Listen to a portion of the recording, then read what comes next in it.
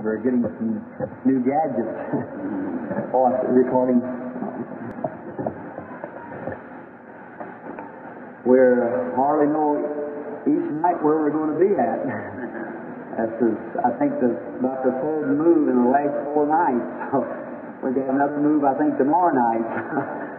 That's what makes it awfully bad. You're kind of shifting around from place to place, and you know, hardly it's just like a new place every night, and it makes it very hard. I trust that sometime when I come back again to open, well, maybe we can get something like the auditorium here for a week or two. That's right. That's when we can have a real revival and a real meeting. Don't you believe that? Yeah. Yes, I believe we could too. It's just our schedule has been so irregular. Well, I would say this: we're just a night or two here, and then a hundred miles farther. Just about the time we get the thing, the people settle down to where they can begin to see the supernatural moving of God. Then they break up the meeting, go somewhere else, two, three, four hundred miles farther, and start again. And just when the people are becoming into the revival stage, where they can be healed and many things can be done. So I think after I get back now from Canada, well, before we go to Mexico or anywhere, I think we'll just make the revival places stay about a month at a time in a place or something like that so we can just really get the people, when they can stay long enough for some of the people that's prayed for will be, begin to come in, report coming in, getting well, getting well, like that, and testimonies going. Like in my own hometown in Jeffersonville, Indiana, watched nothing there. Might as soon as you come into town, hundreds of people flock from everywhere because they have, they are, you're settled down to one place. You're not on the move like this. And then, friends, this is just about six months I've been going day and night almost. Today I had a wonderful day alone with God. No one was there but just the Lord and I. And I get myself more settled down when I get alone. Now I've got five more meetings before I have any rest coming up. Five more meetings. And then in the month of May, I'm to take a complete month going up into the Rocky Mountains for my alone there you kind look like you know, I like to be alone with God. That's the way to, that I find Him so dear to me. And then coming back then to start into Canada. Now, we do not have much time. What time do we have closed off for? Seven o'clock? Eleven o'clock, I think, is the closing of the auditorium. So I wish to speak to you tonight just for just take a little bit of time and teach the word of faith, and that you might know how to approach God. There's many of these great, deep subjects that people claim that they know much about, and when it comes down to the final showdown, they know very little of it. Now, that's true. And we're going to find out a few of those things tonight. And by the way, day after tomorrow night, at the other auditorium, um, to give a little sketch of my life story. That is, if you'd like to hear it. Would you like to hear it? Let's see your hand. That's just fine. Have you announced where the auditorium is? Reasonable idea. Because I want you to be healed. That's what I'm here for. Uh, this is a great sacrifice for me to be here, friends. I have a home, a family, and I'm new. I'm just a, a baby in the work. This is just a few months since the gift of healing came to me. I don't have, I don't own my home. I just live in two rooms in a little L cottage. My wife packs water for somewhat, almost a half a city block, packs it back out of the house again. I've been offered wonderful homes in different cities where they tell me I'll build you a home worth five thousand dollars, just give it to you. And friend, it isn't money with me. I, I'm, I wished I never even had to think about it. And that's the reason that many of you send or offer me your gifts. I, I don't take them because it's not your your finance. I want your confidence. Uh, I'm here for your healing. As I stand about the little home, wife and two children, I would, I'd love to be with them tonight. Just about now, it's 11 o'clock. That faithful little one's on her knees praying for me now. She knows it's just that time starting the service. Lovely old mother, she's praying for me. The little boy, uh, his mother died when he was just two years old, he's praying for me. And somehow when I come into the pulpit, I just feel that their prayers will be answered. And I know he's near. You know how I'd like to see him tonight when I left them at the plane coming? A few months ago, they were holding onto my coat and crying. The doctor in my church told me I wouldn't live but about a year longer, said at the rate I was going, I would drop some night in a heart attack in the pulpit, and the little boy's afraid of that, so he just crying, saying, Daddy, don't go. But there's something calls out to the sick and suffering. And friends, I can only help you if you believe me. That's the only way that I can ever do anything for you. And I would love to be there tonight. You don't know how would like many of you know what it is to be away from home, don't you? But uh, it's just it's just a little shack. But it doesn't take a big house to make a home. It's the character on the inside that makes a home. And I'm thankful for a home. So God bless you, and you pray for me. I'll tell you more about it day after tomorrow night. And now tonight, friends, if you will, keep the little fellow just as patient as you can, and you be the same. And give me your undivided attention just for a few moments. And I'll try to explain to you the best of my knowledge the reason I'm here tonight and how that you must approach God to receive your healing.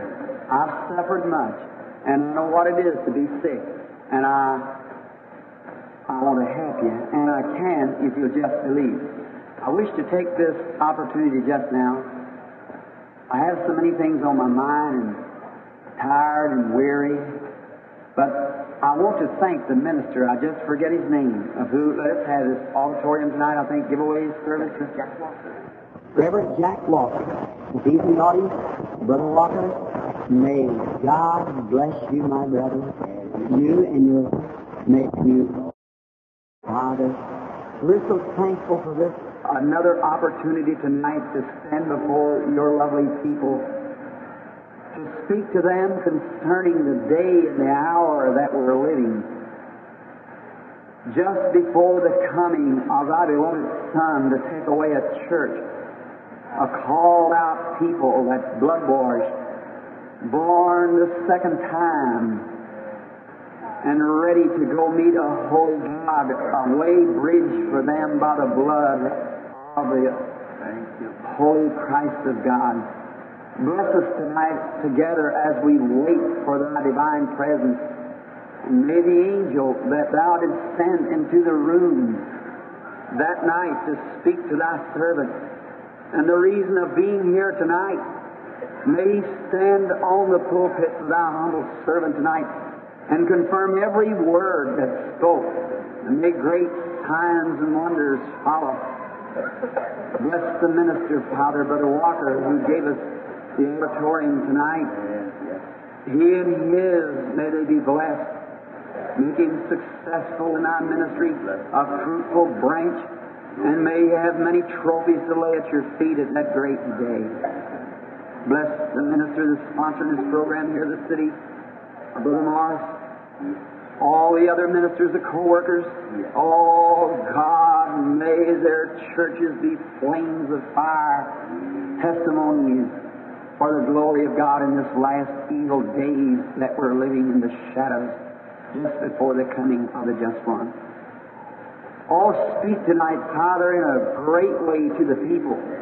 And may there be faith. And may the Holy Spirit tip his wings across this auditorium tonight may virtue come in such a way that many, many great miraculous healings may be done, that his fame may be spread forth through all regions up and down this western coast of this hemisphere.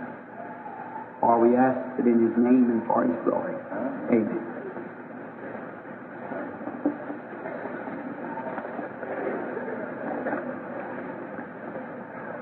Our friends, as I say, we're shifted about so many times. I guess many of you here never even hear how the gift of divine healing comes.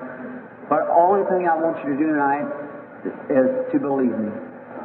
If you will believe, you shall see God's glory, I'm sure. the success has not been as I hoped it would be in the last few nights, though cripples, affliction, deaf, dumb, lame, but it's very slow. It seems to be since we've hit the West Coast. Brother Charles Fuller was speaking to me when I was down at Long Beach, and he told me, said, Brother Branham, said the reason said this West Coast here has everything under the name of divine healing. Said they have blue flame worshipers, Father Divine worship, and everything under the name of divine healing. Said it's such a stumbling block. Well, that that may be so, friends. I do not know, but that does not counteract God's power to heal and the healer divine. And now, no man can do a miracle in His name that can speak right of Him. That's what He said. So, if anybody is getting people healed, I'm thankful for it. But I truly believe with all my heart as we go into the subject tonight that you maybe, if God will just help us, that you'll get the vision and see what really the day and time that we're living, and then you'll see and believe. May God help us as I read some of the scriptures now. Over in the book of Hebrews, 11th chapter, we will begin and read the first three verses. Listen very closely, because my words are just the words of a mortal. They will fail, but God's word will never fail. It's always true. Now faith is the substance of things hoped for, the evidence of things not seen. For by it the elders obtained a good report. Through faith we understand that the world was framed by the Word of God, so that things which are seen were made of things which do appear. By faith Abel offered unto God a more excellent sacrifice than Cain, by which he obtained the witness he was righteous, God testifying of his gift, and by it being dead yet spake.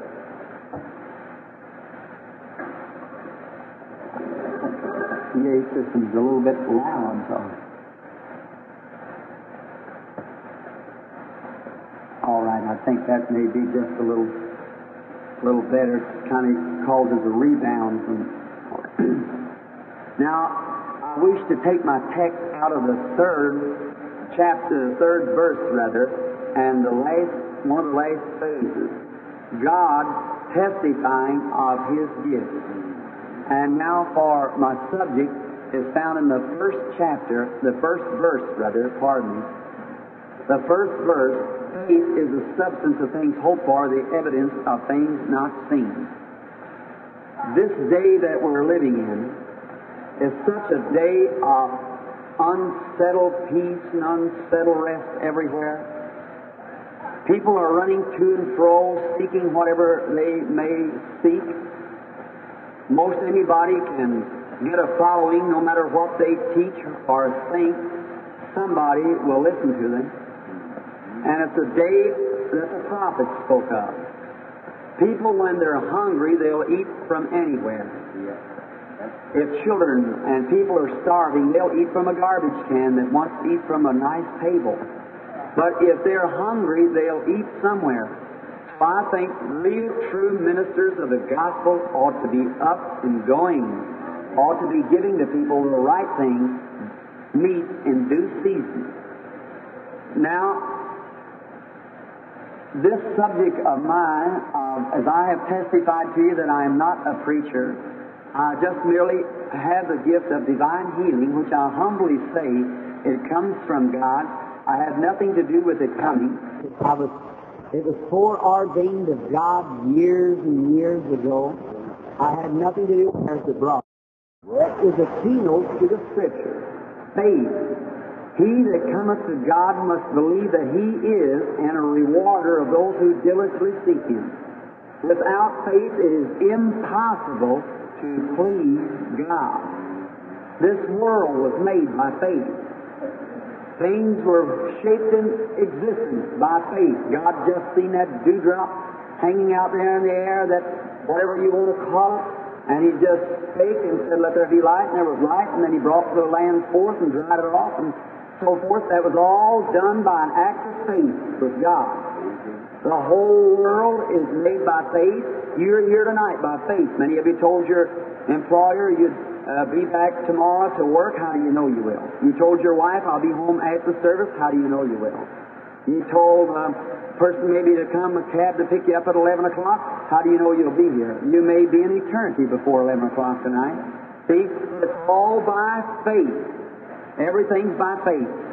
Now, so many people speak of this subject, faith, and know so little of it. Now, listen, friends. I, I love you, and I want you to see this. There's so many people speak of faith, doesn't know one principle of faith. Now, you're together, and I, we may never all meet again this side of eternity. But I, if I had a place where we could be together and I could gradually bring the thing up to where you'd be able to see it plainer than what you will now, because many of you are going to think, and you're probably, many will get the wrong impression of me tonight when I'm trying my best to get this to you, and you'll think it's self exaltation. But it is not, my lovely friend. It's for your benefit if I can just get you to see what, what God has done for you. Now, some many people come through the line and they say, Oh, I have faith to be healed. And friends, when they pass by, I know they haven't enough faith to cure toothache. That's right. And some of them coming through with cancer and say, I have faith to be healed. They do not have faith. The scripture lesson tonight said faith is the substance of things hoped for, the evidence of things not seen. See, it's a substance, it's something direct, something that you really have, not something that you imagine, something that you think you have, but it's some direct, positive act that you have. You see what I mean? Now, here not long ago, I'll give you a little story of someone who came so you can see what faith is. Faith is a gift of itself. You may have a portion of it, but there is a gift of faith. Just like some of you people anoint the sick and pray for them, and you have a result. That isn't a gift of healing. That is a portion of faith. That isn't a direct gift of healing. For there's only one direct gift of healing. There's only one direct gift of faith. There's only one direct gift of, of miracles and so forth. There was in the Scripture. The apostles had it. Many, they done many mighty works of Philip and all of them. There was one gift of healing. Like when we leave the city, as many people say, I've in some places after some them, maybe 15 or 20, say, the Lord gave me the gift of healing. Well, God bless their hearts. Some of them say, Brother Branham, will you lay your hands upon me that I get the gift of healing? I wish I could. I have every one of you pass right down this line here tonight, and I'll say there wouldn't be a sick person left in Oakland in a few weeks from now. That's right, but it's not mine to give. It's belief is the substance of things hoped for, the evidence of things not seen. Let's take that part of the Scripture, the substance of things hoped for. There's three things hope, charity, and faith. Is that right? Mm-hmm. Now, hope is one element, faith is another element, and charity is another element. Charity is love. I've seen many people come by lovely people, real Christians, but didn't have enough faith to be healed, and some sinner passed by and had the faith to be healed. See? It's another element altogether. It's not how well you serve God, it's uh, an element that you possess yourself. Now, I want you to see this because it's for your benefit. Here, a few weeks ago, a few months ago it was, I was home for just a few nights, and my, there's about 300 people had gathered in the home and around the yard that day, and about 2 o'clock in the morning, the wife got me into bed, and while I was just laying across the bed, my, my legs were cramping and hurting, I was laying down there, and I heard a machine drive up out front, and I said, oh my, there's someone coming. And she said, well, listen, I'll go at the door. And while she was on her road to the door, I went to sleep. And I could hear someone saying, well, the baby has been sick for a long time. The little baby was crying till it didn't even sound like it was human. Something like you that's reading my little book of Heavenly Vision. How many read it in the audience? Let's see. Uh, Heavenly Vision, you see. Something on that order. The little bitty fellow, it was about eight, ten weeks old, and it was, it never stopped crying. And the mother said, well, uh, uh, we've traveled all day and all night to get here. Said we've seen where he, Brother Branham was to be home, and he brought the baby. My poor little thing, I couldn't sleep. And I went out there and prayed for the little baby, and I sat down, And there in a chair just a moment was talking to the mother. They come from Lloyd, northern Ohio. And while we were sitting there, friends, the little fellow ceased to cry. He'd been crying day and night now. Oh, that's worth more to me than all the money of the world. And there, I looked over, and the mother started crying, great big tears dripping off on the little blanket. The old dad sitting there with a pair of overalls on, probably spent a good portion of his living to come. Come over and put his arm around me. I love you, Brother Branham. My some of the best hearts that ever beats under an old blue shirt. That's right. It ain't the way you dress, it's what's on the inside of you. That's right. And there, I knew he meant that. That wasn't hypocrisy. He meant that from his heart. He loved me. And I looked at the little baby, and the mother when I went in the other room, she was uh, of just smiling at us and praying. That's worth every bit of it, isn't it? That's right. That's worth all of it. And then my wife said, well, I'll take some coffee or something for you, uh, if you wish. And they said, well, we'll just wait a little while. My wife said, well, now, I'll tell you what. I said, I'll lay down here on this chair, and you let the mother and them go to bed and sleep for a little bit. And so we put them in a bed, and I was sitting in a chair to try to rest for daylight. And just then, another car drove up, and a young man came up the door, and he said, Brother Branham? I said, yes, I was trying to get awake. He said, I know you're very sleepy. He said, yes, sir. He told me, he said, I'm from Ringo, Indiana. He said, my little sister is dying with appendicitis. She should be operated this morning. So will you come here? Well, and in my old jalopy Ford, waiting for me over at Houston, all the side of it's beat out with my knees, where I'd hit my knees like that trying to stay awake while I would go pray for the sick people. I've left one meeting, going to the other, and you get out into the field with my hand out the door of the car saying, God bless you, God bless you, sound asleep. I never will forget one day coming from Houston, I, there was, I hear a car blowing, and I knew I was on the wrong side of the road, only couldn't get awake, you see. I'd sit there 15 days and nights praying for the sick people and see wonderful things, but oh, my friends, if my life will be short, maybe somebody else can stay because of my going. And this man said, young fellow, he said, my little sister, he told me he belonged to a church. I will not call the name here because it's not expedient, and I don't criticize anybody's religion. And anyhow, this church is my arch enemy. They claim that there's no such a thing as divine healing and so forth.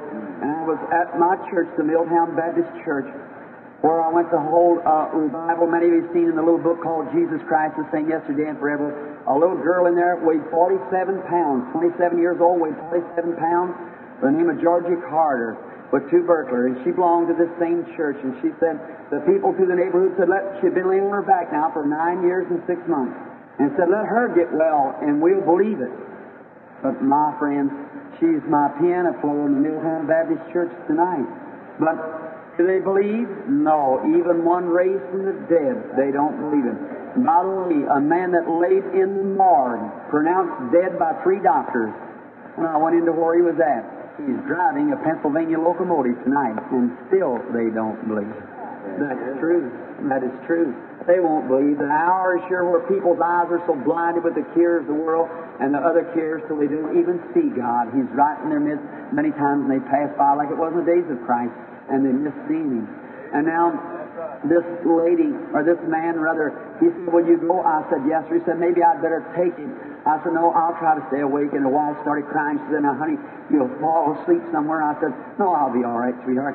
And I got in the old car and started trailing down. I said, I'll watch him going down. I was pitching my biting my fingers, and I'd take spit and wipe my eyes and everything else, trying to keep awake. I know that sounds very unsanitary, but uh, I was doing anything to try to get to the child, and we drove about eight miles through an old roadway up into the rural district, and there lay a young girl, something about eight, 17 or 18 years old, and Uh, she was lying there in a terrible condition. When I walked into the room, she was real nervous, and she said, "Oh, for you, Brother Branham." She said, "I said, do you believe, sister?" She said, "Oh, yes, I believe." Said, I, I believe. Said, "I don't care what my church says."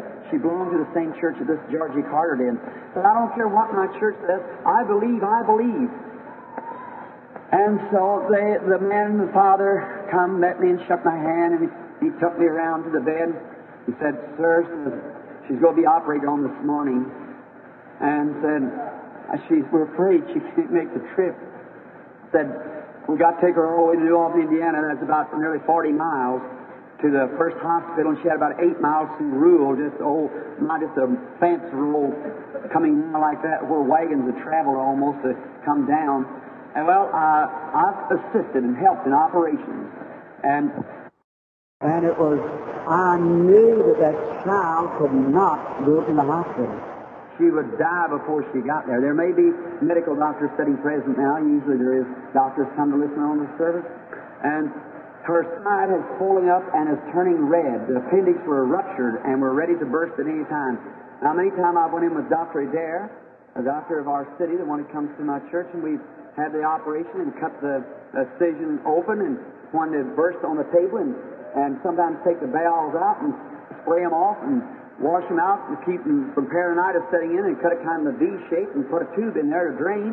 Sometimes they get well. But that child could, that appendix would have bursted and she'd have had 30 miles or more yet to drive and she would have died before she got there. Now, friends, the girl was looking to me and she said, Oh, Brother Branham, you think I'll live? And I said, I believe you will. But she, I said, now do you believe? She said, oh yes, yes, I believe. Sure, I don't care what my church says. I, I believe. Georgie Carter got well. Said I'll get well too. I'm scared of the operation. See, just like that. Some of the neighbors are gathered in. Now, look, here's where I want to get to you people now on this. The girl thought she believed, just like many of you come down this line. You think you believe, but she did not believe. Now, many of you have female trouble and maybe something or another that uh, maybe uh, ulcered stomach, and you, you have to take your, you can have a little time. But that girl, that had to be emergency. Her life was at stake. Something had to be done. So I said, Sister, I do not mean to hurt your feelings, but you, you do not believe. Now, just like the brother says here, when you have your head up, no matter where you are in the building, I don't say this, friends. Remember, I'm telling you, this just for your good. It's not I, but God. I know when you got your head up. I feel it. You, whether you're behind me or where you are, like one last night sitting with their head up behind me, I knew it all the time. And so that's between God and the individual, you see. I can't help that. They, they hinder the people. Many times things are hindered. So then, this girl, she said, Oh, I believe, I believe, Brother Branham. Well, she thought she believed. Now look, she had hope. But faith is the substance of things hoped for, the evidence of things not seen. You see what I mean? Now, I said, Sister, in an ordinary case, I said I could have a little time and let you have time. Maybe to take about that much faith and go out with it. But you've got to have immediate attention right now. For I'm going to be honest with you, you will not live to see the hospital. Now, the parents didn't appreciate that very much at that time. But I'd rather be honest with you. Let you know the truth. Wouldn't you rather I'd be honest with you? And remember, friends, I'm not wrestling with flesh and blood as spiritual power. I must be honest before Almighty God. See? And because I realize the danger of my own life, not only mine but yours. And so she said she would she believed but she did not. Well, I said, now look, now I want you to notice this. And I want you to be real careful now and take up every word so you can divide it of a little something that God permitted there. And I, I'll see if you've got faith. I said, Sister, you do not have faith. She said, Oh, Reverend Branham, I have faith to believe anything. If you have faith, I want to ask you and show you, uh, rather, that, that you do not have faith. Now listen and correct every word of it. Hanging in the room from a chandelier was a string, and on the end of that string was a little bracelet. And it had this white bracelet, little red sets in it, where a child probably been playing with, you know, swinging in the room. Maybe some of you have your own babies to do passing by that way, swinging something around like that to play with it, to amuse them. And I seen that little bracelet hanging down. It was. I said to the young lady, I said, "How far are you away from that bracelet?" She said, "Approximately 15 feet." I said, "Now, all you other adults here, all you people, just turn your back right around to me." I said, "Now, there's nothing going to be done to hurt anyone. I just got to speak to this girl because she's got to catch the idea now. And that's the reason I'm getting into these things with you tonight. We've got two more nights and something's got to be done. You see? Now, I don't want you to go away and say anything wrong about this because you might have to answer judgment for it. Hmm. And so I said, something has to be done immediately. And I said, now you parents, you just turn your back. And some of the neighbors were sitting up with her, and they all turned their back to me and turned their chairs around. I said to the young lady, I said, now you tell me you've got faith to believe for all things? She said, I have, sir. I said, how long has it been since you've eaten? And she said, about three days. Said, I can't even keep water on my stomach. And you know what appendix is and fever on her also.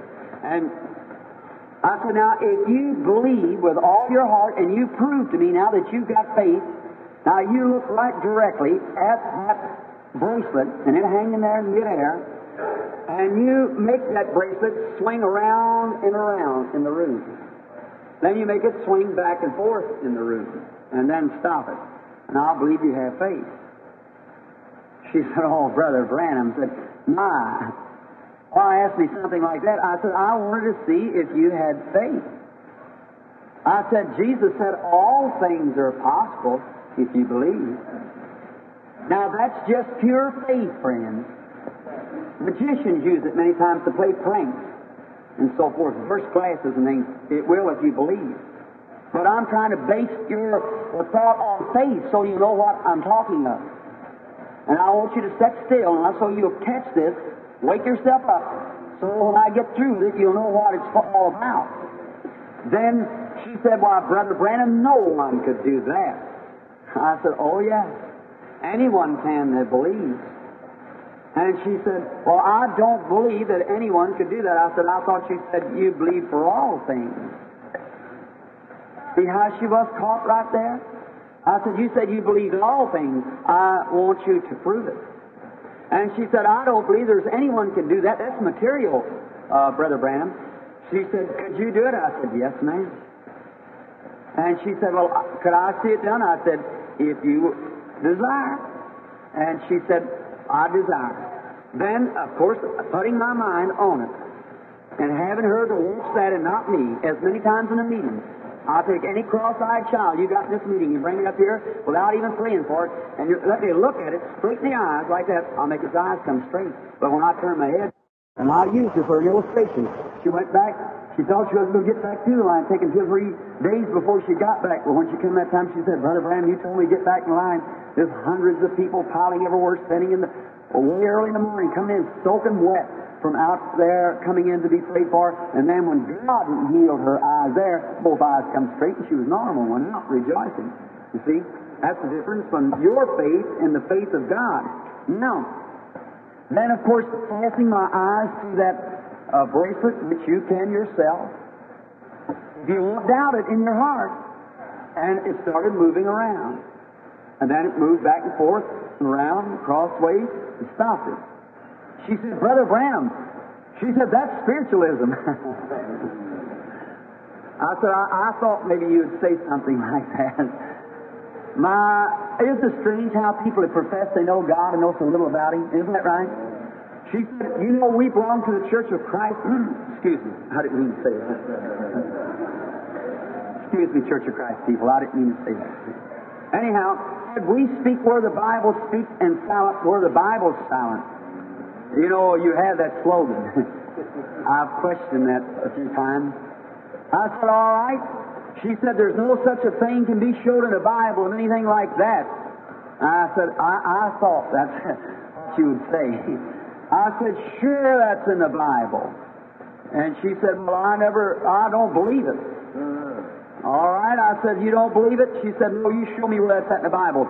I said one day Jesus passed by a tree. He wanted to find some fruit on it. There was no fruit on it. He put a curse on it. And the tree began to wilt. And when they passed by at noon, the tree was wilting down. Peter remarked and said how quick the tree was wilted. He said, If you would say in your heart for this tree to be plucked up and cast into the sea and wouldn't doubt it, he would obey you. Did he say it? I said, He said, if you'd say to this mountain, be moved, and doubt it not in your heart, by and by it would come to pass. Did he say it? Yeah. Sure he did. I said, I know your unbelieving pastor trying to justify his unbelief said that was a mountain of sin. But I, I went to school myself. He was kneeling by Mount Olives. It was Mount of Olives. If you'd say in your heart, or to be moved and don't doubt it. I said, how much more faith? And he said, if you had faith size of a mustard seed. I said, now if the faith the size of a mustard seed would move that mountain, how much more smaller faith would you have to have just to move that bracelet? You see what I mean? Now, I've often wondered why he said mustard seed. I might drop this thought.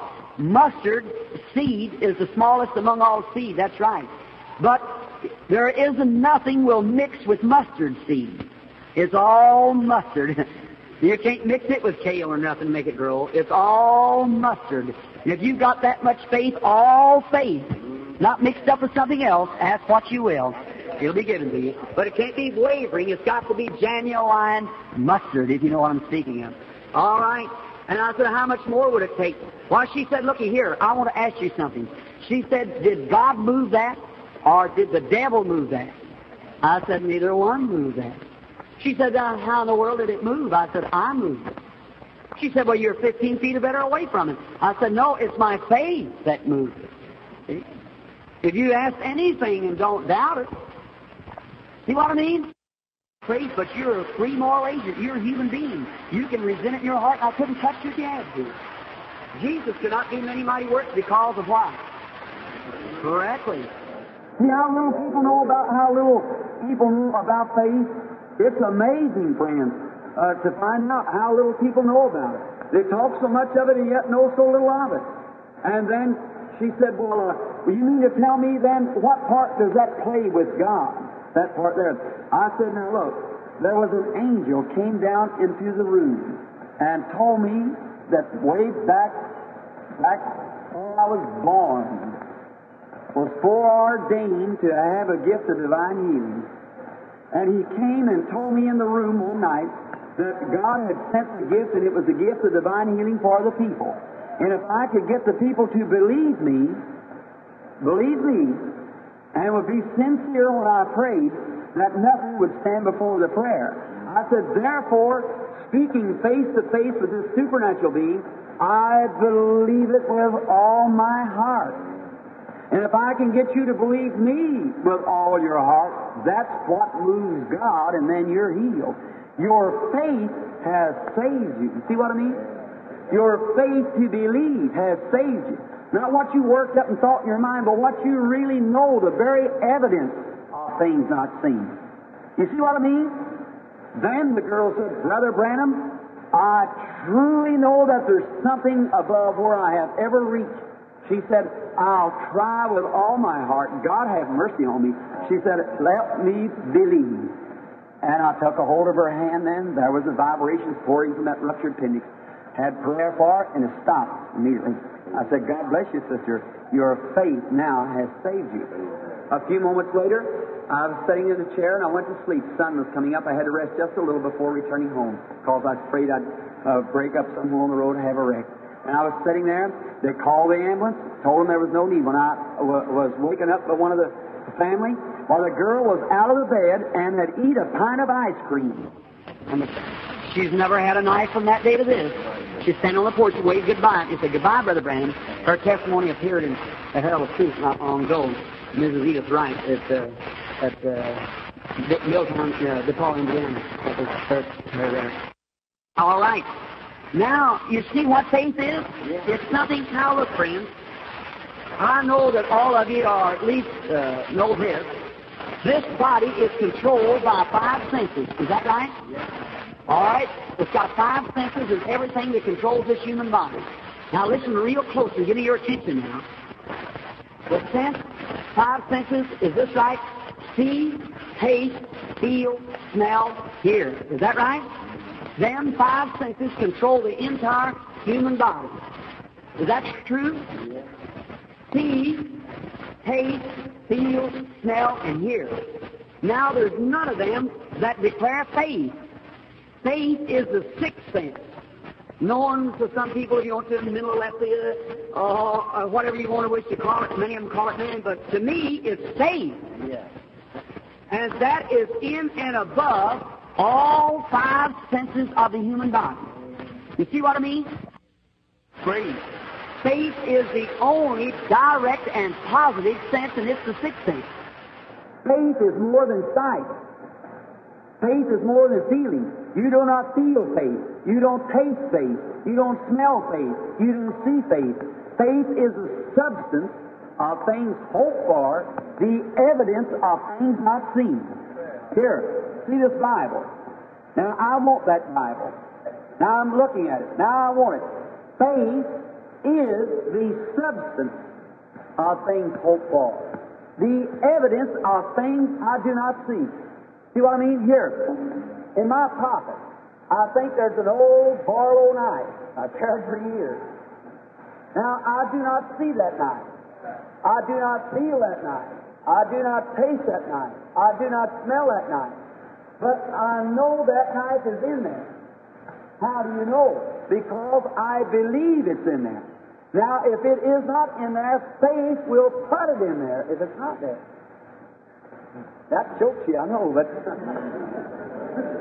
but that's true.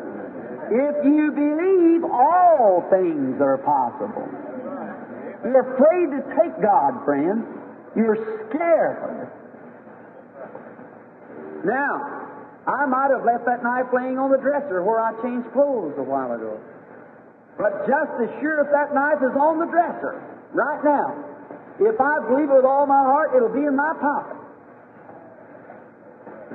That chokes you. But God is able to put it there. If you believe it, here, I want to show you something. Come here, Reverend Kitchen. Is this Sister Moore? Yes. Would you stand up this morning? I want to show you something, friends. Let's stand right here. You don't mind. That's not making a um, public show for you, sister, but it's for the glory of God. Now, look, friends. I want to show you something. Uh, I believe there's a, a woman standing in front of me. Would you tell me I'm wrong? You don't What's it? you don't hear any woman. No, I don't hear any woman. You don't feel any woman. No. You want to know how I know there's one there? You don't taste any woman. No. How can you tell there's a woman there? Because the sense of sight tells me I see a woman. Hmm. Well, are you sure? I'm positive there's a woman standing there. Do you believe that I'm right? Audience, do you think I'm right? Now, is it possible I could be wrong? Yes. Every one of us may be blinded of our eyes. It might be a vision. Remember, the five senses of the body is not so direct. Faith is positive. Now, I know there's a woman standing there because if the sense of sight tells me there's a woman standing there. You see what I mean? Now, you think you could argue me down and tell me there's no woman standing there? Now, you try it one time. You try to tell me I'm not looking at a woman standing before me. You think you could out argue me? No, sir. Because I know the sense of sight is direct. And I'm looking at that woman and I know she's standing there. Yet the only thing I know is the sense of sight. Now I want you to notice. Now I'm going to close my eyes. Now I feel the woman's hand. I can tell it's a woman. She has a woman's hat on. She has a woman's hair. It's a woman's hand. I know it's a woman because I feel her. You think you could out argue me? No. Huh? That's directly, I know it. That that was a woman. I've got my back turned to her, but yet I know it's a woman. There. See? Because the sense of feeling tells me there's a woman there. You see what I mean? Now, sight told me there's woman there now. I don't feel her. That's the sense of sight. I know she's standing there because I'm looking at her. I close my eyes. I know she's standing there now because not because I see her, because I feel her hand. I know she's standing there. I don't see her, but yet I feel her. The sense of feeling declares there's a woman standing there. See what I mean? Now, faith is the substance of things hoped for, the evidence, the direct positive, just same as my sight is positive, same as my feelings positive. It's the evidence of things not seen. Just as positive as that is. You see what I mean? Yeah. So many people try to work themselves up and say, oh, well, I got faith, but friends, it's not there. If it was, it would react. Amen. See? You know what I mean? Now look. Thank you, Sister Martin. God bless you. Now look. Now I seen the woman. My sense of sight said she was there. Then I knew she was there by the sense of sight. I closed my eyes. I didn't have sight. Then I felt her, and the sense of feeling said she was there. The sense of feeling was just as direct as the sense of sight because it was a direct evidence. Now, faith is a direct evidence of things not seen, felt, tasted, smelled, or heard. Now, look here. I'm going to close my eyes now. Watch.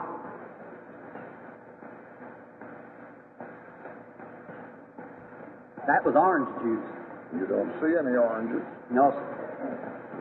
You don't hear any oranges. No, sir. You don't feel any oranges. No, sir. You don't smell any oranges. No, sir. Uh, what makes you think that is orange? Because I tasted it. Are you positive? I'm positive that was orange juice. That would not have been lemon. It would not have been grape. It would not have been grapefruit. That was orange juice because the sense of taste, I didn't smell it. I didn't hear it. I didn't feel it.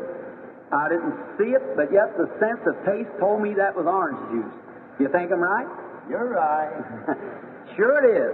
Why? The sense of taste proved that it was orange juice. Now, no matter how much you tell me it was water, I know it's orange juice. I tasted it. See? You could taste it too. And if you've got a sense of taste, you would know it's the same. And if you've got faith, you know the same thing I'm talking about. Now watch here again. Now watch here. I smell perfume. That's You, perfume. you can't see any. I don't see any perfume. You don't hear any. I don't hear any perfume. You don't taste any. I don't taste it. You don't feel any. I don't feel it. What makes you think that's perfume? Because I smell it. That's right. The sense of smell tells me that was perfume before my nose. You hear me? Try right. All right. No, that was perfume. I didn't see it, did I? Did I see it? I had my eyes closed. Did I taste it? No. I didn't have it in my mouth. Did I feel it? Never had my hands about it or nothing else. How did I know it then? Did I hear it? No. I smelt it. Okay. And it was a direct evidence that that was perfume. I know it. Now, You don't feel any music. no, You don't taste any music. no, Well, what makes you think that's music? I hear it, and I know it's music. Are you sure about that? I'm positive the lady playing only believes. You think I'm right? You're right. Try to argue me out of it. I don't see it. I don't taste it. I don't feel it. I don't smell it. But I heard it. Yeah. Was I positive? Yeah. Do I know that I'm right? Why? Now, there is the five senses of the body. Now, they're positive, aren't they? Yeah. You know when they happen. You know, uh, you're looking at an audience. You know you're looking at me. Well, then, friends, faith, here it is. Yeah. Faith is the substance of things hoped for, the evidence of things not seen. It's positive. You know it. There's no need of anybody telling you anything more about it. It's just as much declared as any of these other five senses of the body. You know what I mean? How many has a general understanding now of what I mean? Let's see your hands. Oh, yeah. See? See? It ain't what you try to make yourself believe. Now, for instance, I try to make myself believe I'm hearing music. I, I wouldn't do it. May I make myself believe I'm smelling perfume? It's just not there. I've got to absolutely do it. You see what I mean? Yeah. And faith is that positive. It is an act of positive. You know it. Oh my! I hope you see it. Yes. What I mean, see? It's the substance of things hoped for, the evidence of things not seen. That's right. You don't see it, you don't taste it. Somebody say, I don't feel any better. Well, what's the matter? Why don't you feel any better? If you have your faith, according to your faith be it unto you. Is that right? Praise the Lord. See? No matter how you feel, you're healed anyhow. No matter what you see, you're healed anyhow. See what I mean? It is, uh, you know it. There's nothing to take it out of your heart. You know it. It's this positive act right there. Oh, my. If you could only see it, friends, something would take place. If you could only know what I'm talking about, something would react right now. See, it's a positive. It's right there, just as positive as these other uh, senses. These are of the natural man. Faith is of God. Glory. The natural man can be wrong, but God cannot be wrong. Oh my! Why would it make us go to shout? Think of it. And people tell me they got faith and say they can't believe in divine healing. Friends, if you don't believe in divine healings, you're lost. That's right. How you're going to, if you can't have faith enough for God to patch up this body to glorify Him in, how much more you go to have faith to believe that God will take this old mortal and make immortality out of it to take it up? That's a direct divine healing. Oh, my, there's going to be some awful disappointments at the day of judgment, at the resurrection. That's right. Faith. We've got to get in such a place that we be translated like Enoch was. That's right. Faith. Testimony to please God. And, uh, Enoch, our following scripture says that Enoch had a testimony by faith that he pleased God. Is that right? And the Bible said without faith it's impossible to please God. So you've got to have the same kind of faith that you believe and know the gift of healing. Not a gift of miracles, though many miracles are performed right along with it. But it's the gift of healing if people get well.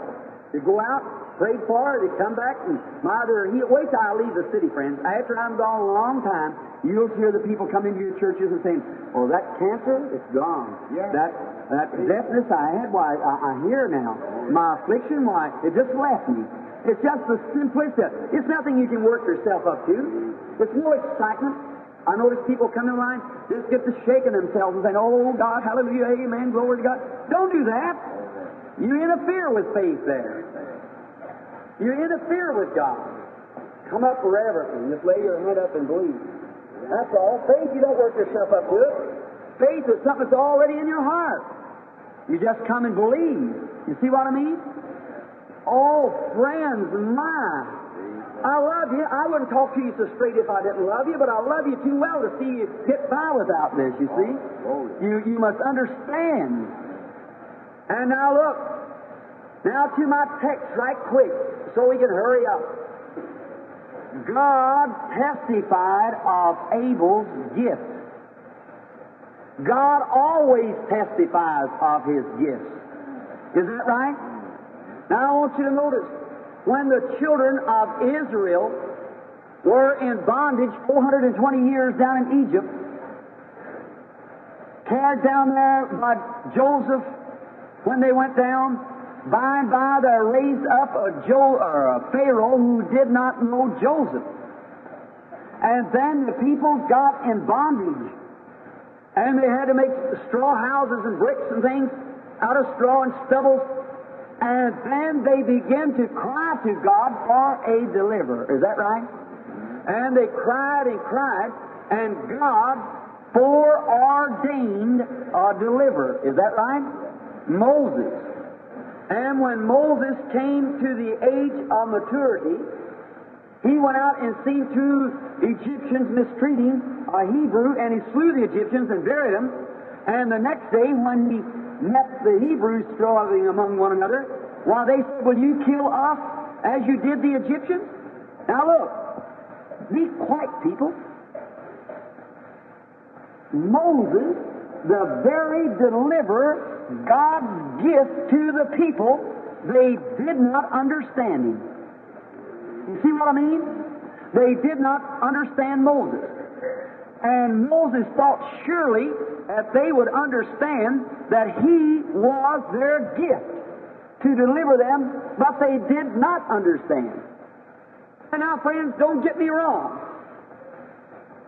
May I say this with reverence in my heart, knowing I'm an eternity bound person who will stand before judgment someday. Thousands of people are missing their gift. See? They can't understand it. And they're looking and saying, oh, he's just a man. That's true. Was it God or Moses that delivered the people? It was God in Moses. See?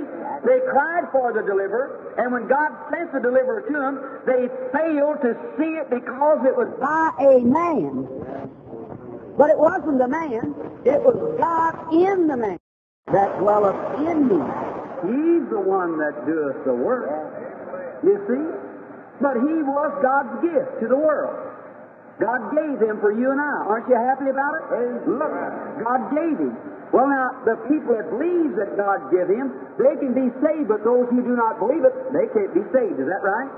And there's no other way at all to enter the kingdom, only by him. Is that right? Well, now, if you believe it, you can be saved, but if you don't believe it, you can't be saved because he is God's gift. Look, the scriptures say, no man, we know that God was with Christ, for no man could do the works that he done except God be with him. Is that right? Then what was it? God was testifying that that was his only begotten Son. Is that right? God testified that. He said, This is my Son. He said, If you don't believe me, believe for the very work's sake. Is that right? He said, If a man testifies of himself, you know how the scriptures read? But if uh, you testify that what he says is not true, then believe me not. But if I testify that what I say is true, my Father will testify of it. And if I tell you about a gift of divine healing and God doesn't testify of it, leave it go, it's wrong. But if God testifies of it, believe it's God gift to you. That's right. You see what I mean? I hate to have to bring this out like this, friends. I'm trusting you're getting between the lines of it. Now notice, see, it's God's gift. After Jesus, when He went away, He was taken up. Many people came to Jesus that never got healed. He prayed for many who never had no results of it because they didn't believe. They didn't believe it. He was God's Son. They said, why, He makes Himself God. He forgives sins on earth. Blasphemy, don't you see? They said it about Elisha. They said the same thing about Moses. While we that we had died down in Egypt and we brought out you to starve in the wilderness. See, God's messenger has always been rejected. You know what I'm talking of, don't you? I hope you do, friends. God bless your heart. I, I want you to see it, friends. Now, then they were in need of a Savior. God sent Christ to the world for a Savior. Then, after Jesus going away, many of the beloved people of God were sick and afflicted. God gave Peter the gift of divine healing. Now, if the people got healed because God testified through Peter of the gift of divine healing, just like he testified through Elisha as a prophet, through Moses as a deliverer, through Christ as a son. He testified through Peter as a healer. Did he do it? And the people got the idea. And they even got such a mob of people that Peter couldn't pray for each one of them. And they knew that this apostle was God's gift to them, and he never shook their hands and said, God bless you. They took the people on the outside of the building and laid them down on the street that even his shadow would pass over them and it would be healed. Is that right? Yes. Why? Because they knew that Peter was the gift of healing sent from God to the people. Oh, I hope you see it, friend. Look. You see, it was God's gift. What now? I want to ask you, was it Peter done the healing? God is not in material things. God is in man. The Holy Ghost never fell on organizations, it fell on man. And so many people, they say they don't belong to my faith. Well, if you're the faith of Christ, it's all the same. God doesn't care about your organization, don't mean that to him. Uh, people's got themselves to a place that's just a big organized world. And if that's the reason I'd rather have it in an auditorium. If it's in a, a oneness church, a Trinity won't come. The Trinity church, the oneness won't come. To the Methodist church, the Baptist won't come. To the Baptist church, the Methodist won't come. One body, one person said, "Should we be baptized over now in order to come be prayed for?" Mercy, that's as pagan as we ever had it. That's right. No, rather by one Spirit we're all baptized into one body.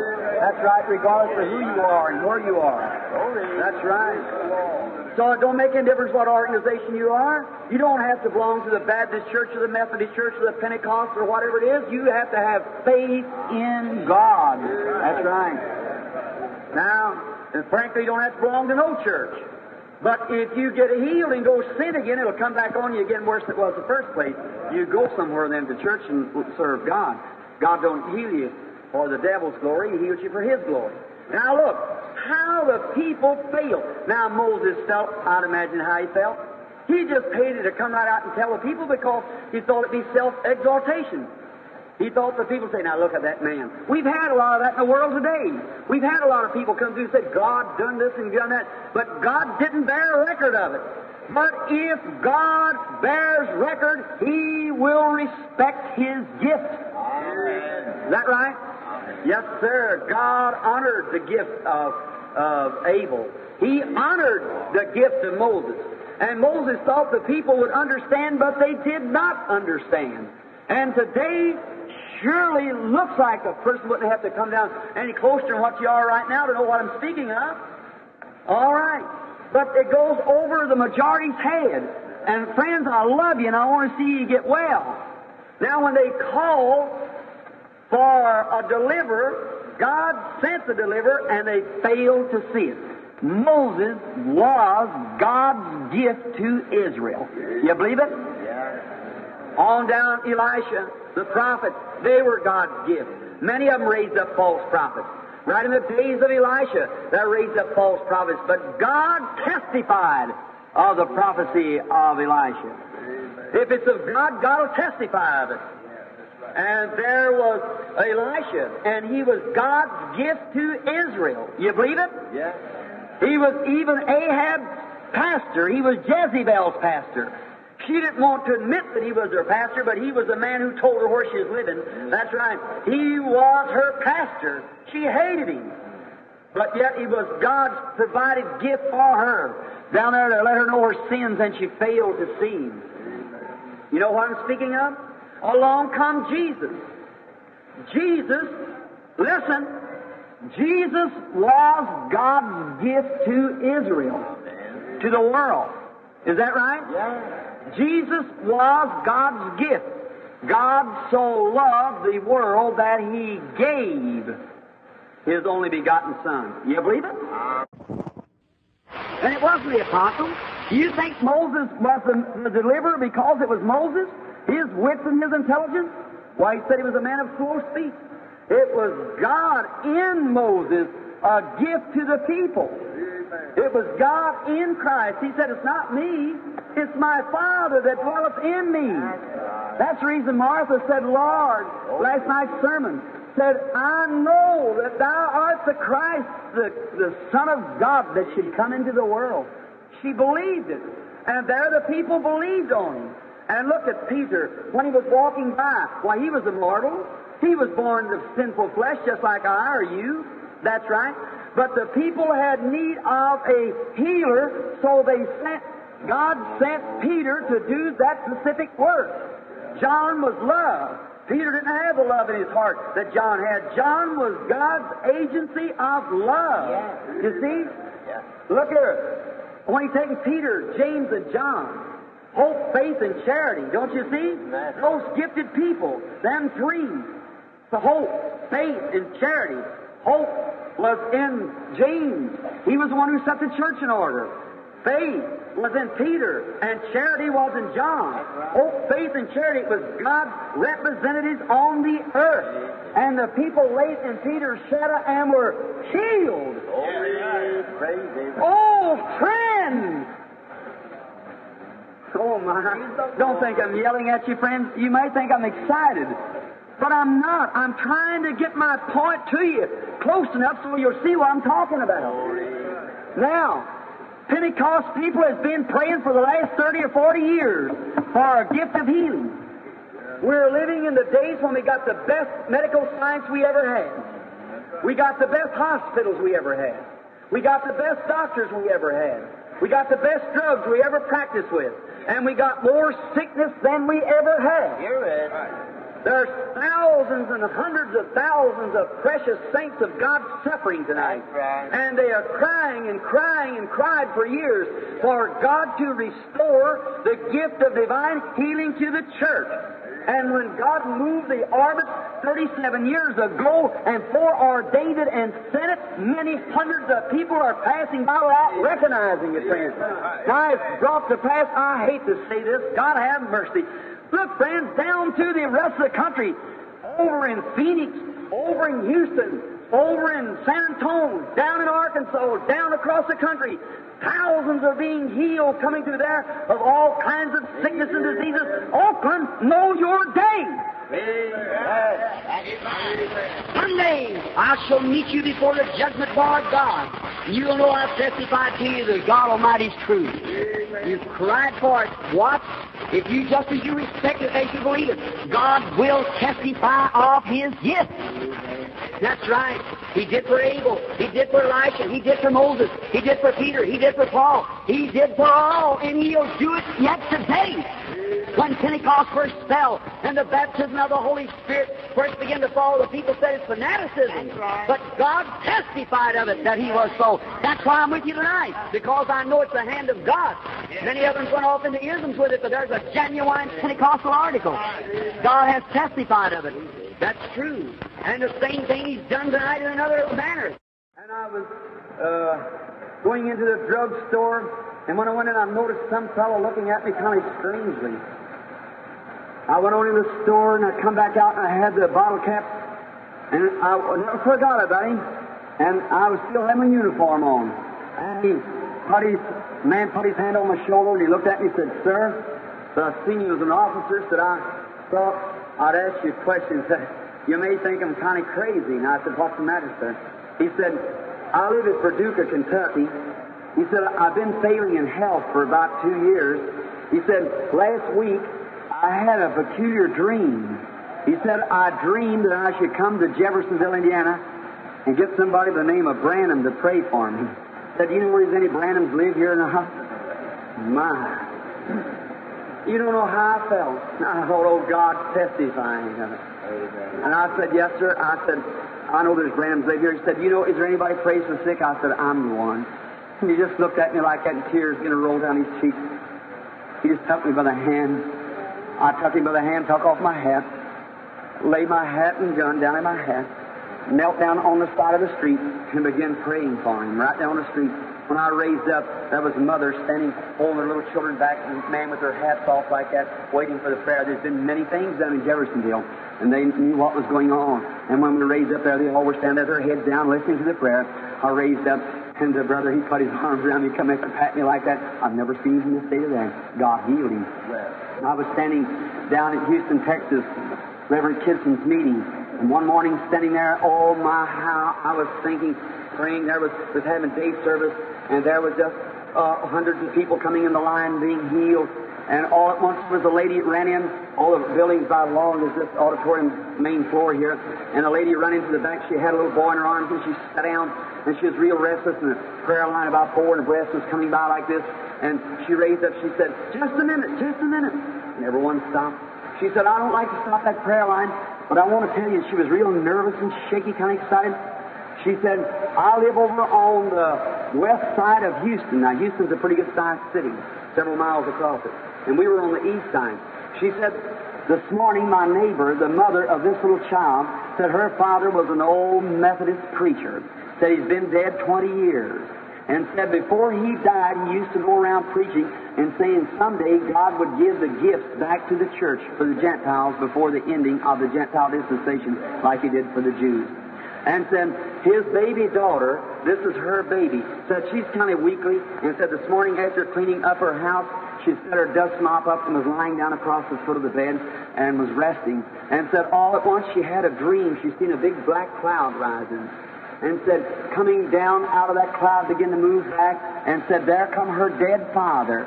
And he said, Rise and take the child and go to the Houston Gospel Tabernacle. The gift of divine healing is there. Well, she just thought it just a dream, never heard of the Houston Gospel Tabernacle. So she just laying there a while, went to sleep again.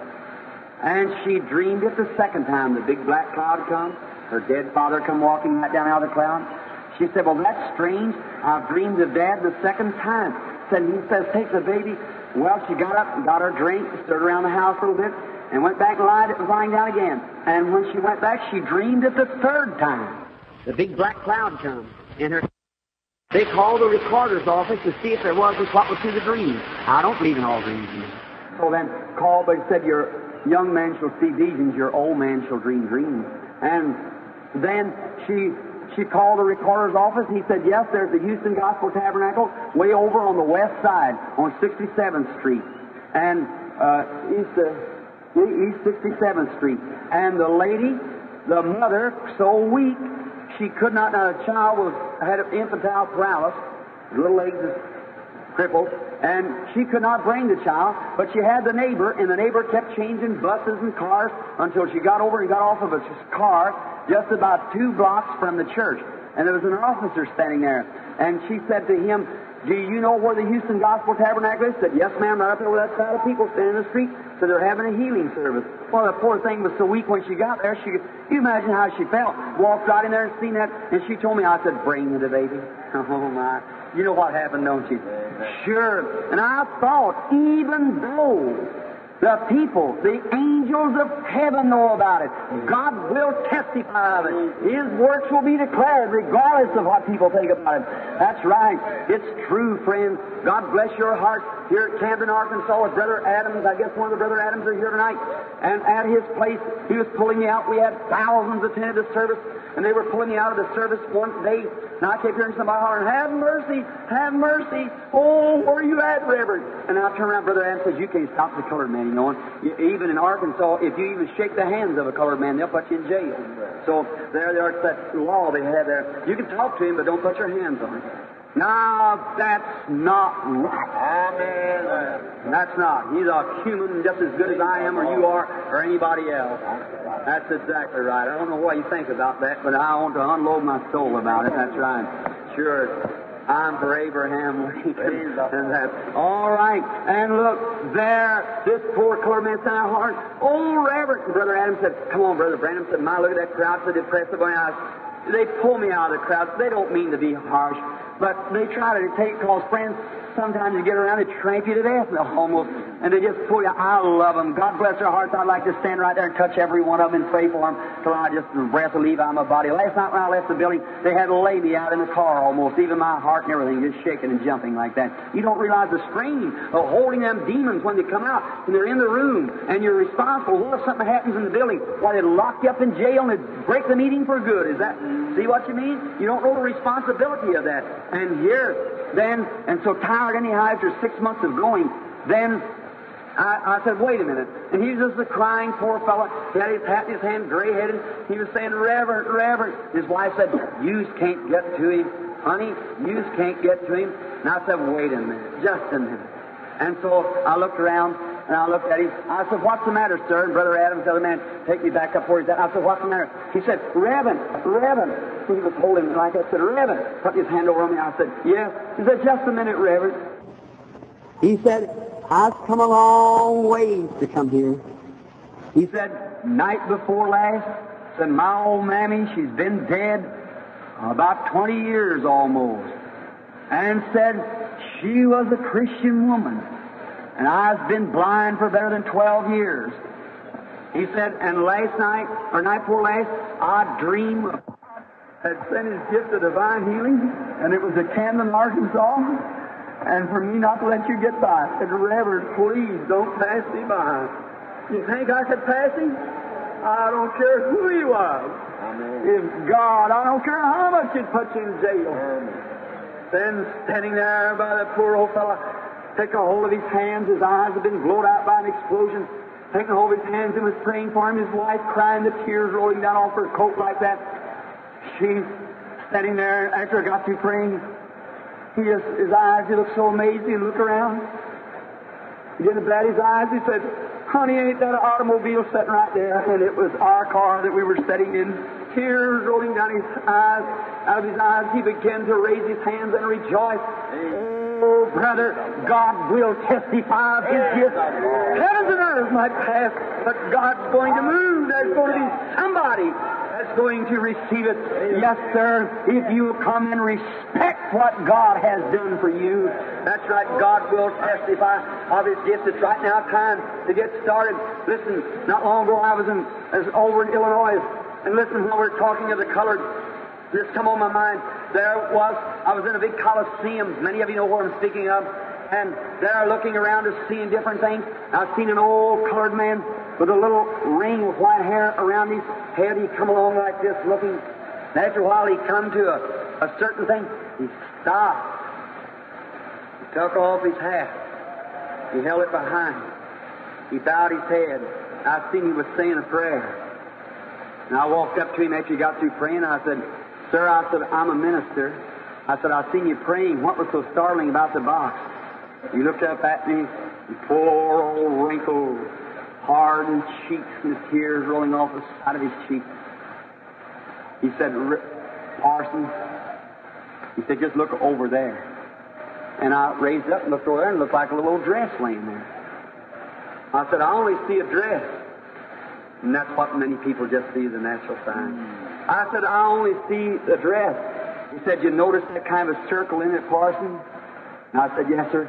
He said, Feel right here on my side.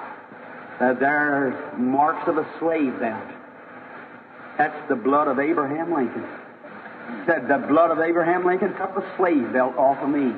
Why shouldn't I take my hat off and say a prayer? I think tonight, if a colored man for the freedom and his rights could take his hat off to the blood of Abraham Lincoln, what ought you Christians to do to the blood of Jesus Christ? Oh, friends. I've expected to have more faith in Oakland and L.A. too. I tell you, the people that received it not long ago was the Spanish people of Arizona. They caught the idea right quick. They knew it was God's gift to them. They come right on the platform, and I'd see them dear old Spanish mothers faint and fall and pulled out of line before they could get to me. They believed it. One of them come, she even had a dream that she she couldn't even speak English, and she seen that supernatural being standing. You got the letter here, have you? Many. Why? God will testify of His gift. Is that right? Oh, friends, you know what I'm speaking of. Do you understand now what I'm speaking of? Faith, believe it. Come. It isn't the man, it's God in the man. You know what I'm meaning? See, oh, God, may people come tonight just like they did in the days of the apostles. May they come realizing that this is the apostolic time for them. This is the hour that what they have asked for is now present.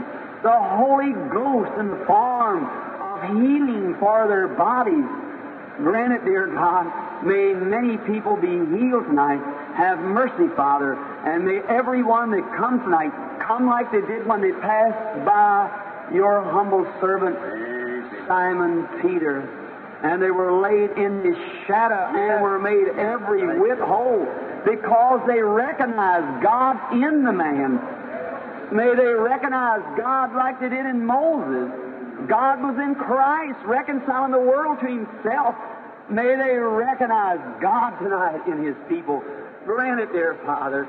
Have mercy now and bless every one of them. And dear God, at this time I pray for my little church at home that just had services tonight, crying, begging for me to come home. Oh God, people gathering in from different parts of the country. Take care of my little orphan boy, won't you, dear God? Oh, I'm out here striving, trying my best, dear God, to obey what I was told to do. And may the people see, Father, what a sacrifice it is and what you've done for the people, and may they recognize this day. And many be healed, get well of their diseases, and testify through this city. For we ask it in the lovely name of Jesus Christ, thy beloved Son. Amen.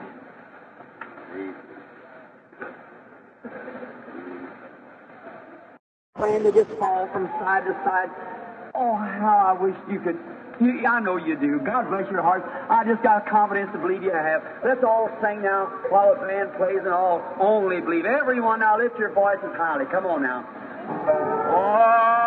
Only believe.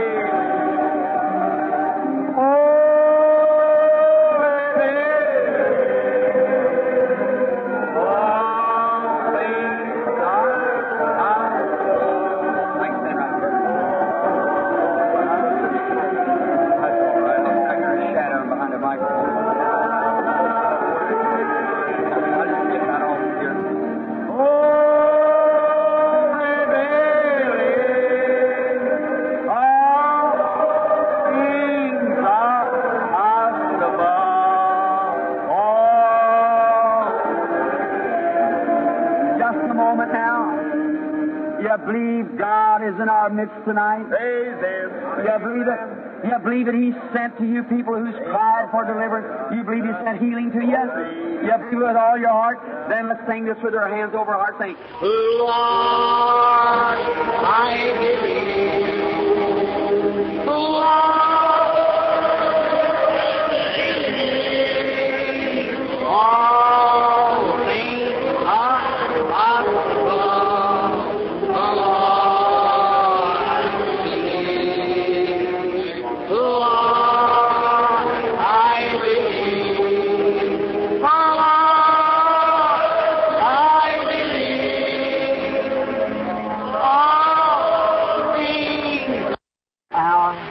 Come.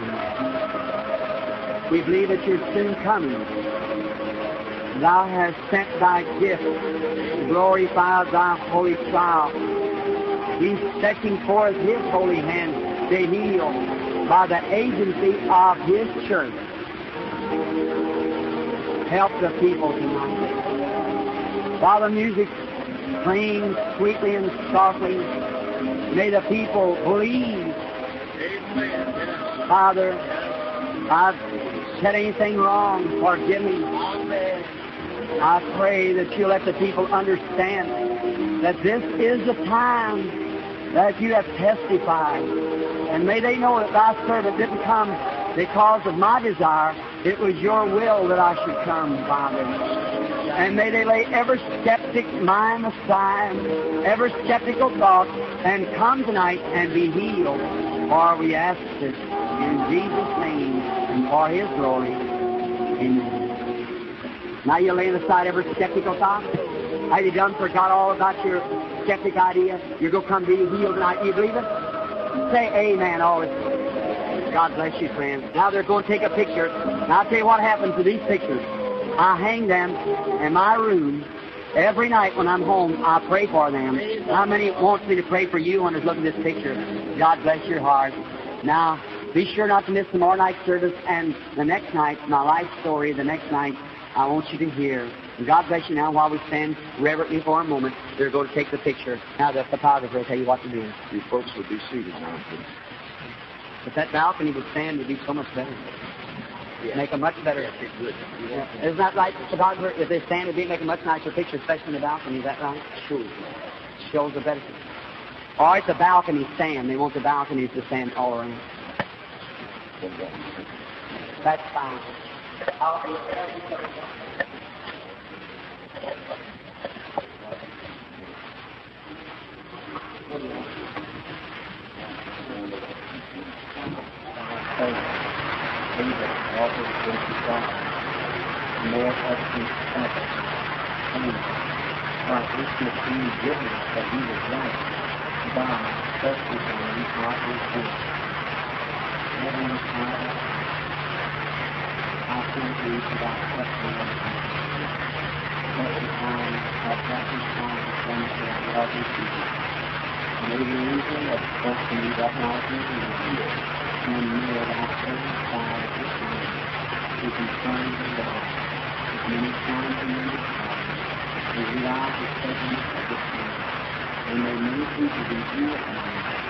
and they will face the original opposition to believe the suffering, and they will be healed of all manner diseases and further to accept it without further.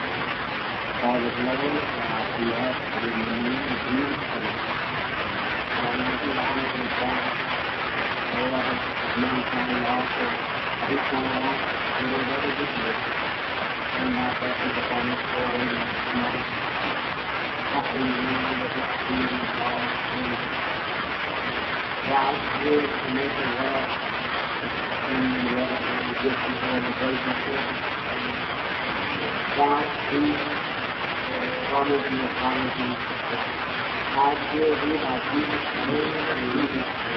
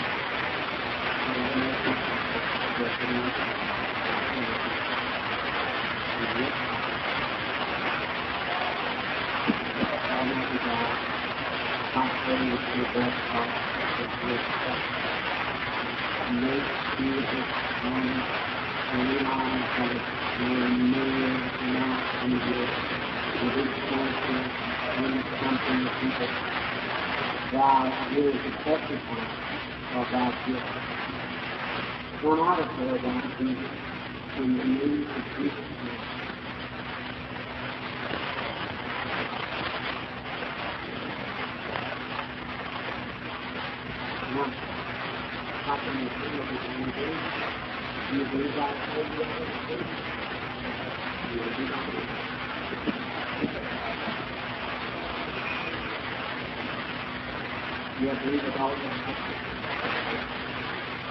Dear God, it's impossible for them not to be real.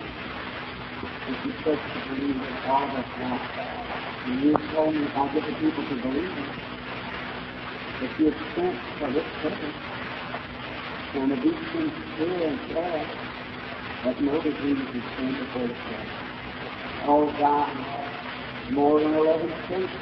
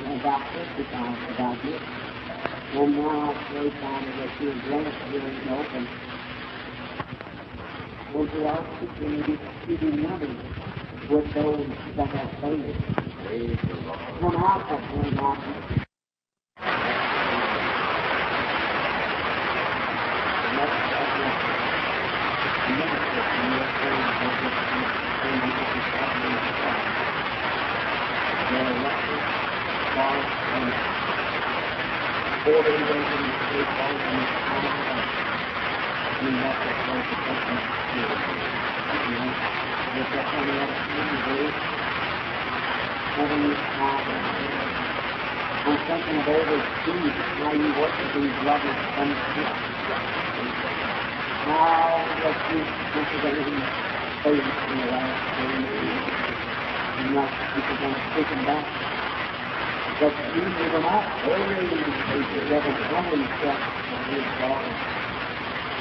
Pray that you blessed by your daughter. You stand spirit, praying over my child, maybe you need to do is you have a little You can really use it. Jesus is God, have mercy upon us. Come out of him, God, Jesus, in the of Jesus.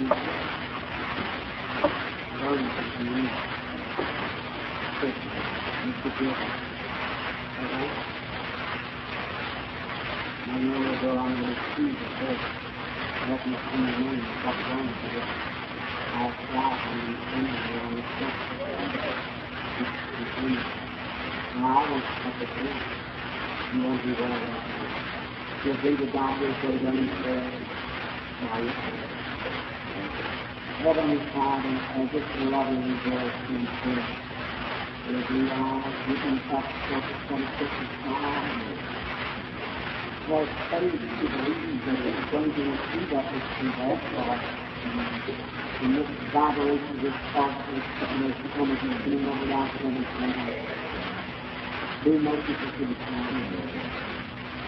please come out of this, Jesus, in the name of Jesus Christ.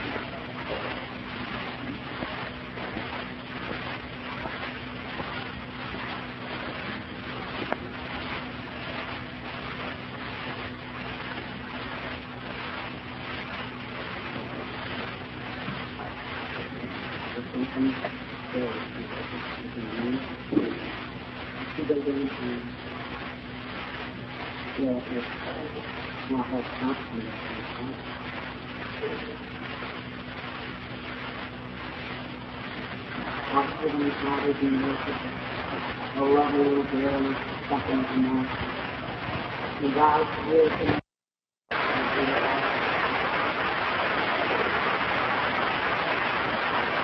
Heavenly Father, being worshiped with the Lord we suffer in the community. Now, all things and all the conditions of our life. Oh, now just that little secret place of all faithfulness, realize that Almighty God is all daily, and simply as that is respect God, and His testimony is everything, knows to be real. Not even, not spoken spirit, believe or believe, or in the name of Jesus Christ, in the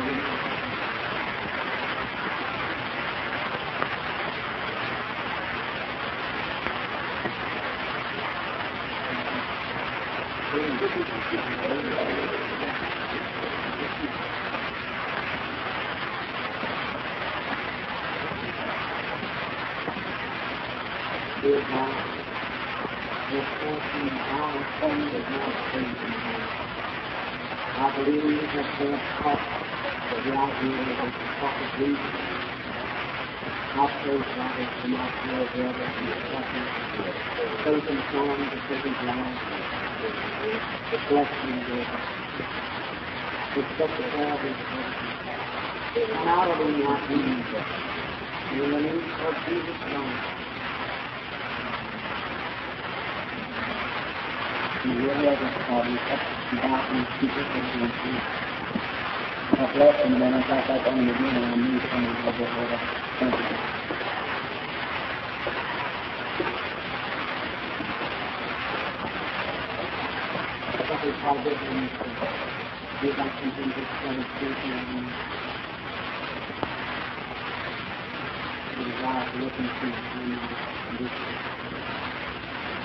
Heavenly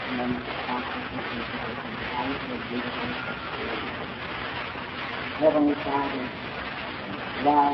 and the Spirit of you the people. I feel it's a great messenger of the God standing near the focus of the King. Therefore, with all the faith that I now have, my brothers and ladies, keep our life on That is the strongest thing to a people. Come out of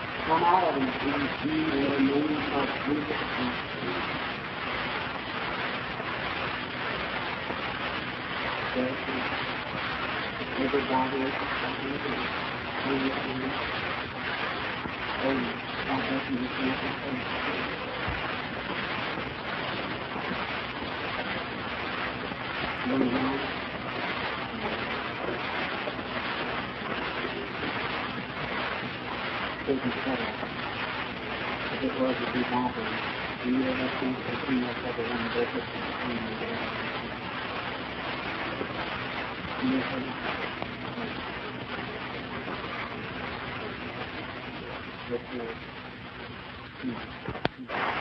Born very level, using them now, the consideration. I can see the way you get more, even of the glory of your precious life and wonderful. And Father, you say, have mercy on us now. If you all are possible in you. Multiple years because you stood on time, you did this and that. And now God still testifying of your gift. Therefore, in obedience to what committed to that, what we know is good. Now this. Come out of it in the name of Jesus Christ.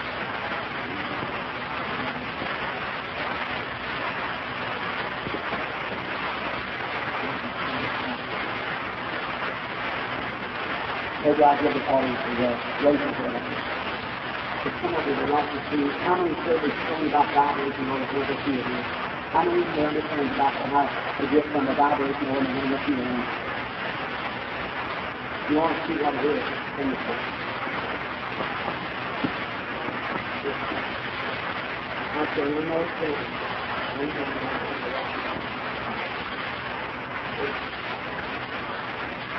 And just as man has not. The responsibility. And when the fact and thought of this man, we don't have anything.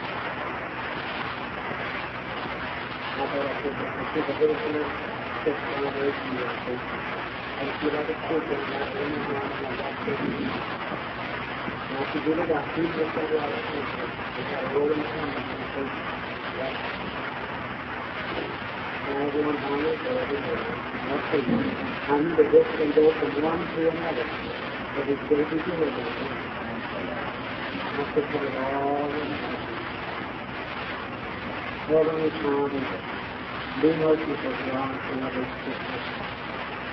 It has a right, to be here, becoming the Son of God-given privilege of being dear God the Jesus of. Therefore, Father, give our children faith. May I be able to climb up just now, up into that that faith. Then may she also mount up there now, in the name of Jesus Christ, I rebuke these children. Believe it. Name of Jesus.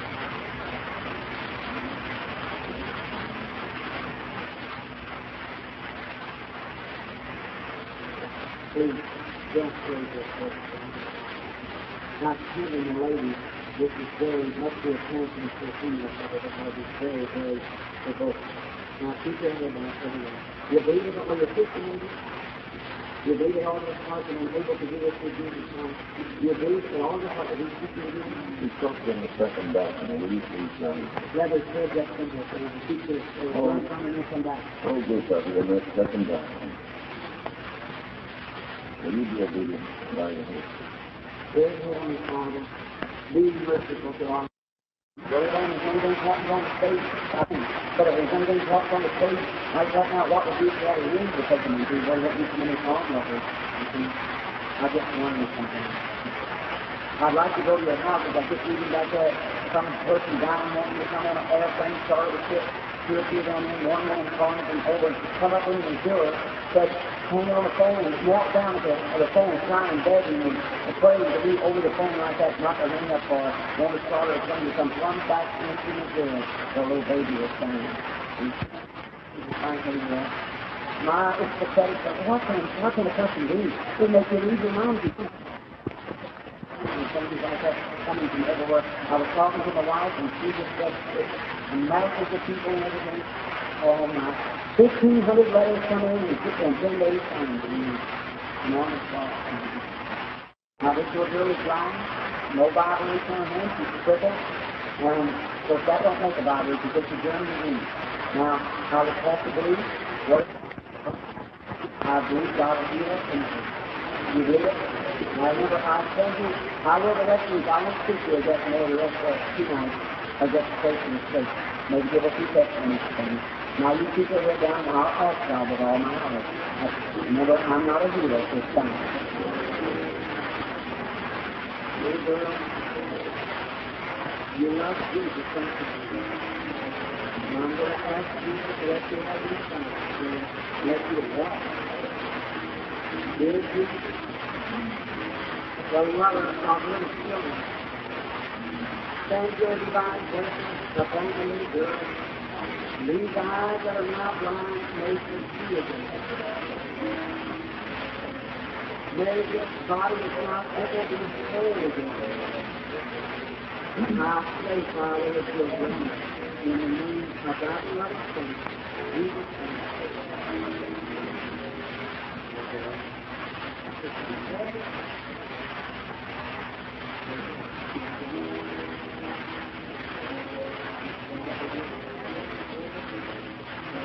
Now,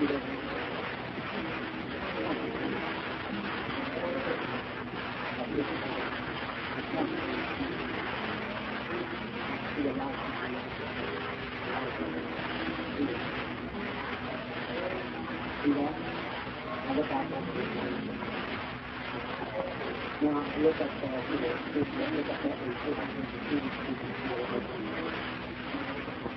Look at, see that? See that stand up over here? All right, you can raise your head on it.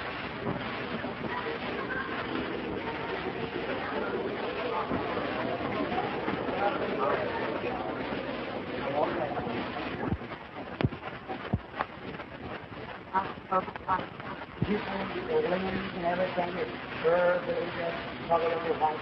But there's enough strength. When anything dies, it's strength. Is that right?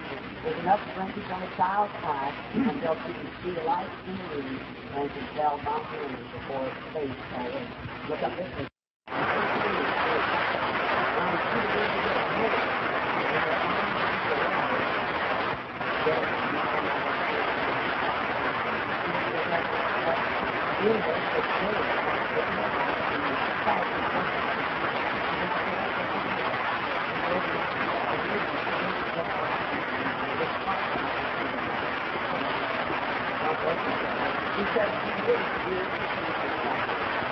I want you to walk with me and see how this is walk. Let's all say praise the Lord. Listen at her. Now, listen. Now we're going to put our testimony sheet to see in the paper so you can it is. Lana made promise. Watch it in the paper. Is that right? Have you? All right. How many now? God bless. Now here's the definite.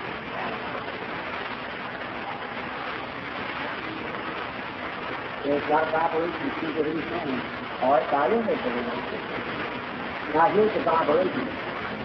This, I can tell which way it goes. What's the it? That had to be faith, just my own faith to believe it. Now, what you evaluate everywhere. How many audience believes I'm able to do this through Jesus Christ and your hand? All right.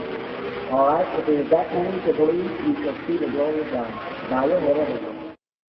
You don't have to tell us things. It's known. There's no secret of God as He reveals His secrets to His servants.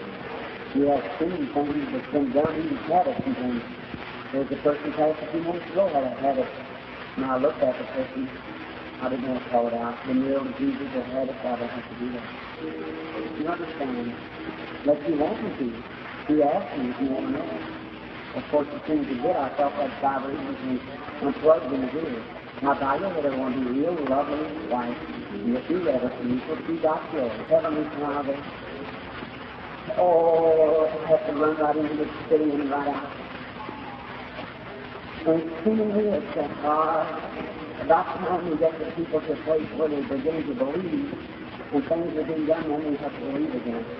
I that you maybe see set the finish back this way again. And now, standing here before me, this man, standing here, Satan has plugged up his ears to make him walk before a vehicle or something sometime and be killed on street. All kinds of do his harm to the poor brother. But you're here to make him whole, Father. And now I have spoken to the people tonight concerning your visitation of the angel of God. And may you confirm it now before their eyes, for this faith line will have to